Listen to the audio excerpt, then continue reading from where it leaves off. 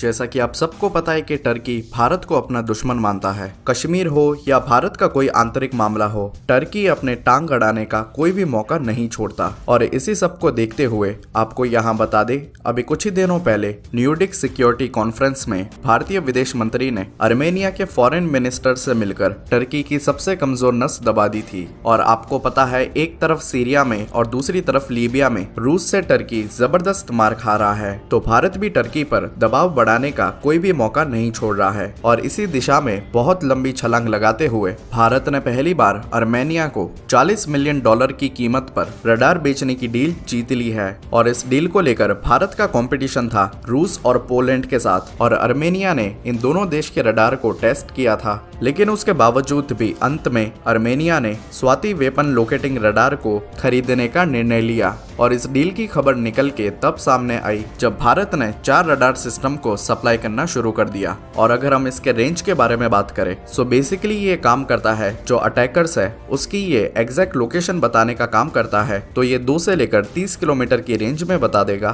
कि आखिर अटैक कहाँ से हो रहा है। और अगर रॉकेट से अटैक हो रहा है तो ये चार से लेकर चालीस किलोमीटर की रेंज में बता देगा। और अगर मोटार से शेलिंग हो रही है तो ये दो से लेकर बीस किलोमीटर की रेंज में बता देगा कि आखिर अटैकर्स है कहाँ। और आपको यहाँ बता दूँ, ये जान के गर्व होगा, आज के समय में भारत अकेला एक ऐसा देश है, जो स्वाति वेपन लोकेटिंग रडार को यूज़ कर रहा है और इसको डेवलप किया था डीआरडीओ ने। और जैसा कि आप सबको पता है कि भारत हर साल सत्रह हज़ार करोड़ के हथियार निर्यात करता है, और मोदी सरकार ने वर्ष 2024 तक सालाना पैंतीस हज़ार करोड़ के हथियारों के एक्सपोर्ट का लक्ष्य अपने सामने रखा है। इसलिए अर्मेनिया के साथ हुई ये डील को भी उसी दिशा का उठाया गया कदम माना जा सकता है और उम्मीद करते हैं भारत और अर्मेनिया की दोस्ती और भी गहरी होती रहेगी।